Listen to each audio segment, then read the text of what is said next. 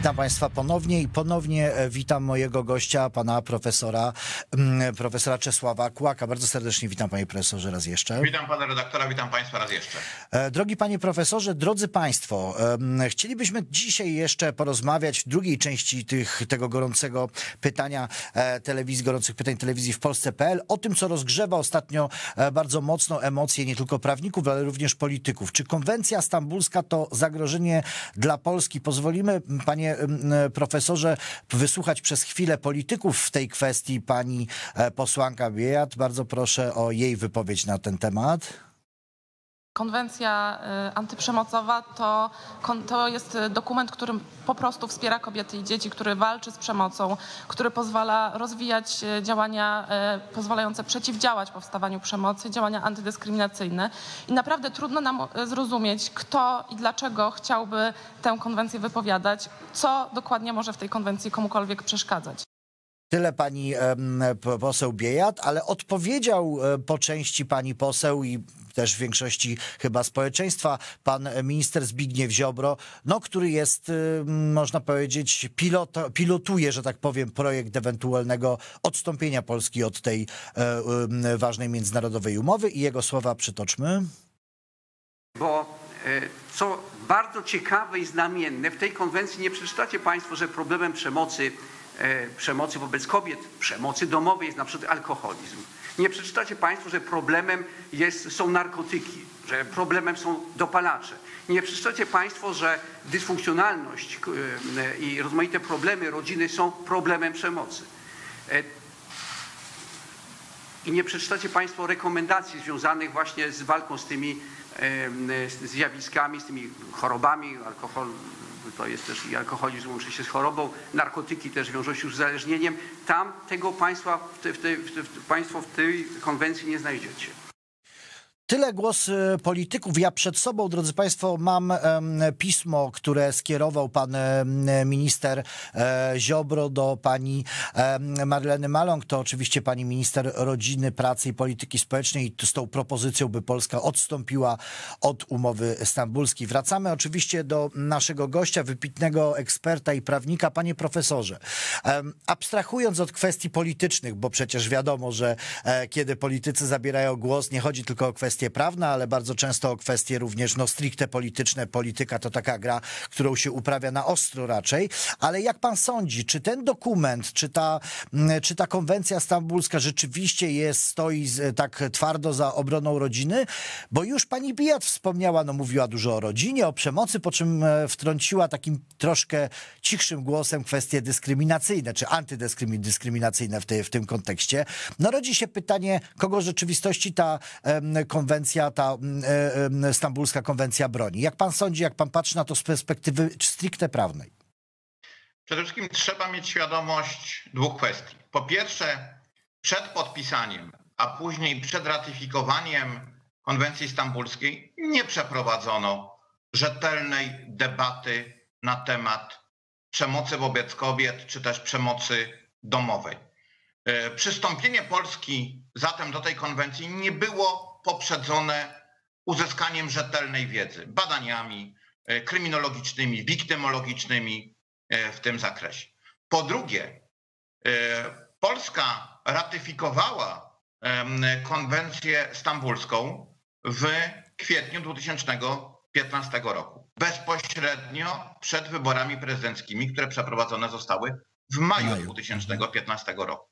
Złamano zwyczaj konstytucyjny zakładający, że tak ważne decyzje, e, które powodują zaciągnięcie zobowiązań w sferze prawno-międzynarodowej, nie powinny być podejmowane na kilka tygodni przed wyborami, których wynik e, może być inny niż reelekcja urzędującego prezydenta. A pamiętajmy, że prezydent Andrzej Duda i partia Prawo i Sprawiedliwość krytycznie odnosili się do kwestii e, konwencji stambulskiej.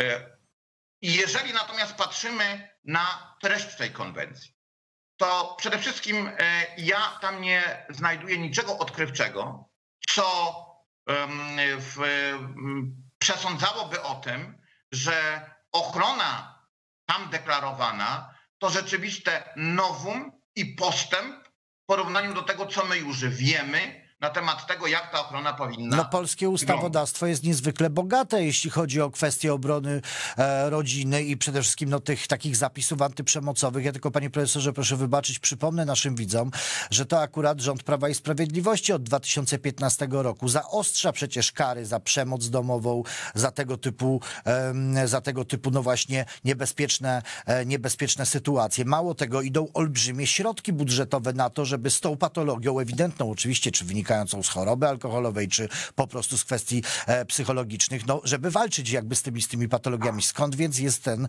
skowyt, przepraszam za publicystyczne wyrażenie? Z perspektywy 2015 e, roku, czy też wcześniej 2011-2013, to rzeczywiście ówczesny stan prawny był dalece niezadowalający. Mhm. Natomiast teraz, po pięciu latach obowiązywania w odniesieniu do Polski konwencji stambulskiej możemy dokonać merytorycznej oceny tego, czy ona sama w sobie stanowi wzmocnienie ochrony i rzeczywiście zapobiega przestępczości. No, ja mam poważne wątpliwości z jednego prostego względu. Konwencja stambulska nie definiuje źródeł przemocy domowej, nie klasyfikuje ich. Natomiast może być odczytywana w ten sposób, poszczególne rozwiązania w niej przyjęte, że źródeł przemocy upatruje się w tradycji, kulturze, religii e, i takie daleko idące uproszczenie powoduje, że mamy do czynienia z błędną diagnozą. E, zwłaszcza wobec Polski, gdzie przypomnijmy, nigdy nie było tak, że religia, czy kultura, czy zwyczaj były okolicznościami wyłączającymi bezprawność zachowań skierowanych przeciwko drugiemu człowiekowi. E, to nie Polska jest tym miejscem, gdzie praktykowane jest okaleczenie żeńskich narządów płciowych. To jest domena państw afrykańskich. E, to nie w Polsce akceptowany jest e, zwyczaj zakładający prawo mężczyzny do stosowania czy do sięgania po kary cielesne wobec kobiety. To z kolei jest właściwe dla niektórych państw arabskich. To w ogóle nie nasz krąg kulturowy. Polska konstytucja deklaruje równość mężczyzn i kobiet zarówno w życiu politycznym, społecznym, ekonomicznym, rodzinnym. Oczywiście lata zaniedbań powodują, że występuje dyskryminacja, czy na przykład w miejscu pracy, dochodzi do przypadków molestowania seksualnego, ale to nie jest problem właściwy tylko dla Polski. I to nie jest problem, który tkwi w e, religii, czy też tkwi w e, na przykład akceptowalnych zwyczajach. Wręcz przeciwnie. To jest wbrew dominującej Polsce religii i wbrew dominującym Polsce e, zwyczajom.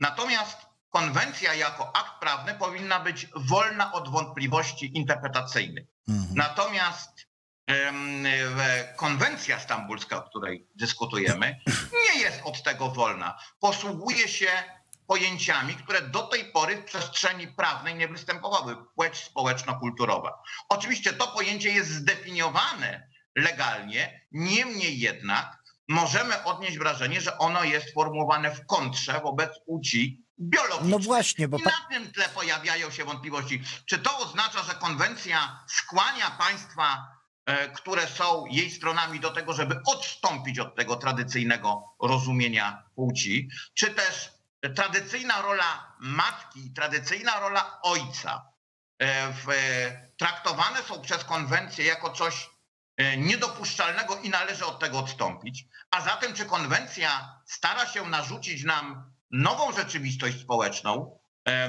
nowy model rodziny, nowy model relacji międzyludzkich i de facto stworzyć nowego człowieka? My tego nie wiemy, ale już sam fakt, że takie wątpliwości się pojawiają, do tego pojawia się pojęcie związane z dotychczasowymi rolami kobiety i mężczyzny i wyraźnie to pojęcie traktowane jest w taki sposób e, E, czy to, co się kryje pod tym pojęciem pejoratywnym, czyli ta dotychczasowa rola kobiety i mężczyzny jest nieakceptowana. I pytanie w związku z tym takie, czy w całej rozciągłości przecież polska konstytucja, tak o, jak na przykład konstytucja no właśnie Bułgarii, o tym, o to chciałem... odwołuje się do pojęcia macierzyństwa. To ja zacytuję, e, jeśli pan... wartości. E, jeśli pan Czy profesor... to oznacza, że ta konwencja um, skłania nas do przedefiniowania, czyli do redefinicji pojęcia małżeństwa. To ja zacytuję, macierzyństwa panie... i małżeństwa.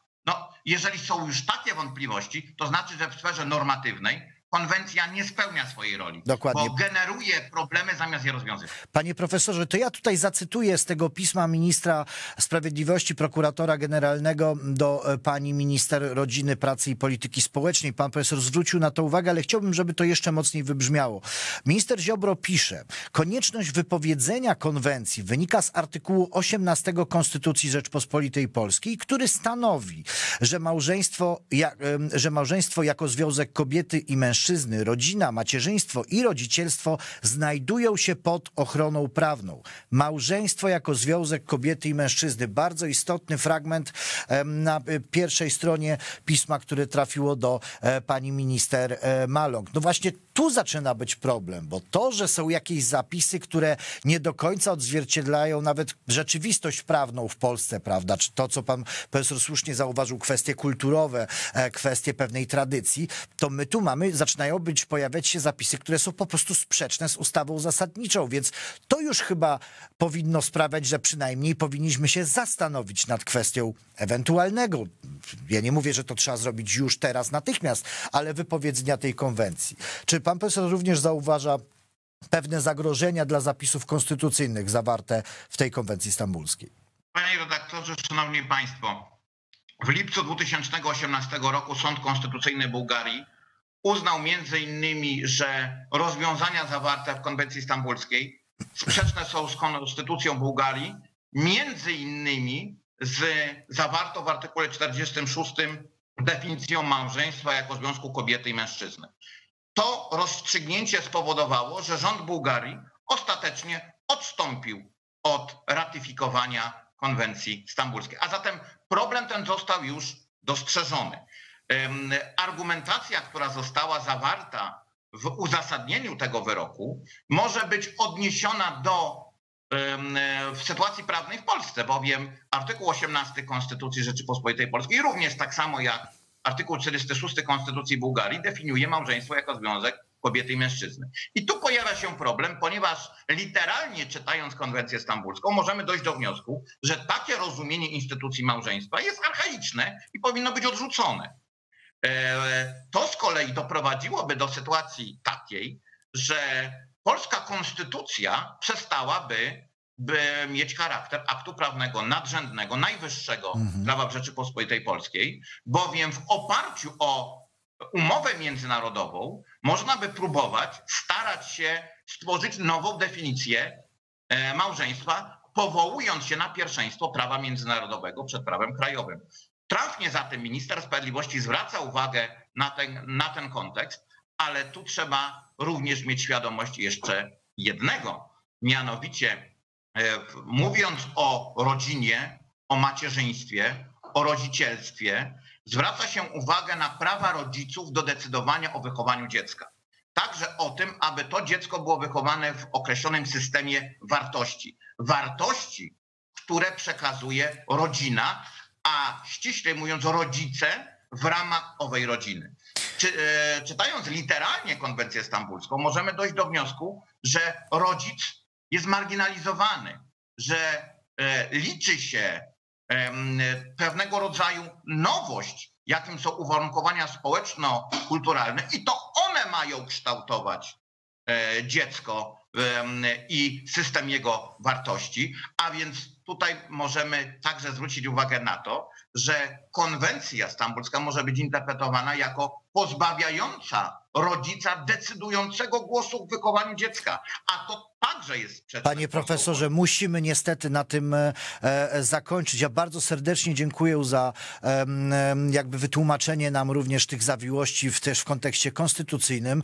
E, bardzo serdecznie dziękuję panu profesorowi Czesławowi Kłakowi, również za połączenie się z nami za pomocą Skype'a. Dziękuję panie profesorze, miłe, miłego popołudnia życzę. Dziękuję panie redaktorze, dziękuję państwu miłego popołudnia. Wzajemnie. E, Kłaniam się nisko. Drodzy Państwo, musimy kończyć tę część. Niestety czas jest nieubłagany. a Wracamy za moment e, z dziennikarzami śledczymi tygodnika e, sieci i ich ustaleniami w sprawie Sławomira Nowaka. Zostańcie z nami, będzie mnóstwo interesujących, sensacyjnych informacji.